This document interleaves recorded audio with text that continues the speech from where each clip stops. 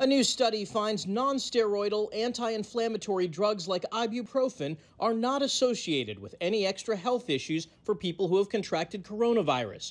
Early in the pandemic, concerns were raised that taking ibuprofen may lead to a more severe course of the virus. But Danish researchers who studied over 9,000 COVID patients say there's no evidence of that. People with insomnia are 17% more likely to develop type 2 diabetes, according to a new Swedish study. Researchers say the risk drops significantly when patients with insomnia are able to lose weight. And a Swiss study finds non invasive electrical stimulation of the brain helps adults with dyslexia process sounds and read more accurately.